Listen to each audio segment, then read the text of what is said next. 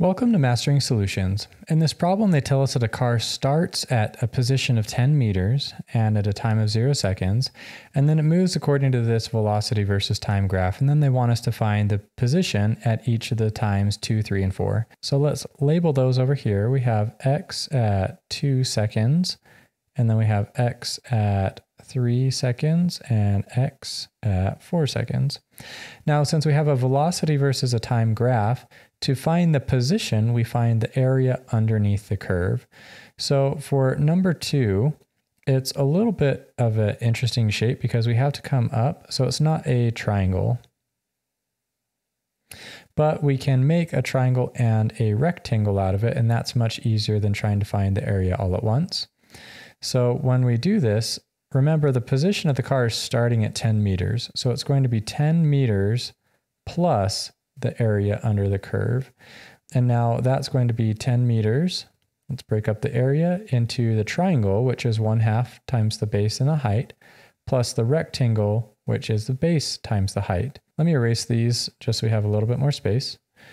So now when we plug in the numbers here, we have 10 meters plus one half, and the base of the triangle is two seconds two seconds.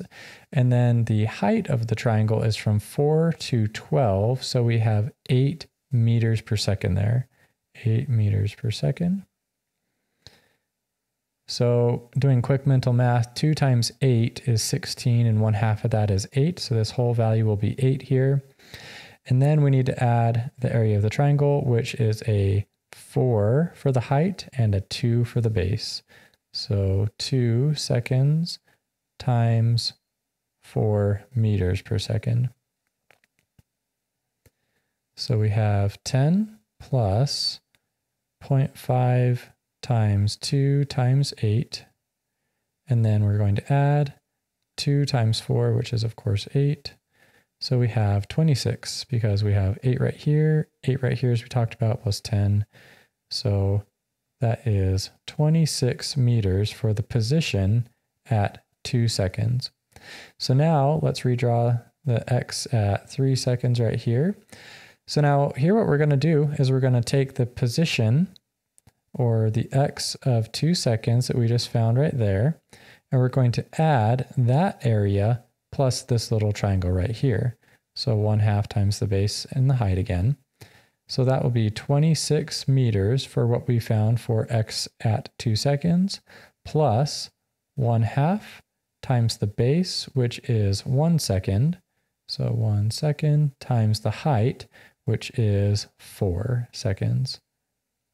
So four times one is four, so that'll be two. So you can put it into the calculator if you want, but with some quick mental math, we know it's going to be 28 meters for position at t is three seconds. All right, and then lastly, let's come over here and do x at four seconds from three to four, and that's going to be like that right there. I extended the line a little bit further past than I should have, but it's this triangle, and we have the exact same thing that we just did for three. We're going to have the position of x at three seconds, and we're going to add the area underneath the curve, which is going to be one half times the base times the height because we have another triangle.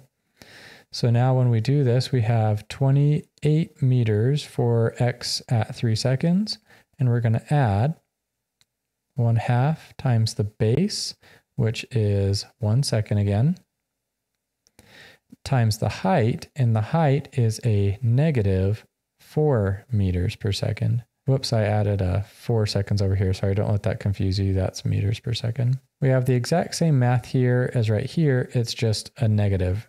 So we have a negative four times a one is a negative four times a half is a negative two. So the position of x at 4 as we've gone backwards because we have a negative velocity now, another 2 meters. So we will have 26 meters again for the position at four seconds. And now for part B, they ask us, does the position ever change direction? And if so, at what time is it doing it? So if you think about what's happening, we have the, the car going in a positive x direction for 0 to 1, 2, 3 seconds because we have a positive velocity. Now the velocity is slowing, but it's still going in the positive direction. Right at three seconds, there is no velocity to it. It's at zero. So it stops, and now we have a negative velocity. So it stops right here, and then it turns around and is going backwards. So the car does change direction, and it changes direction at a time of three seconds.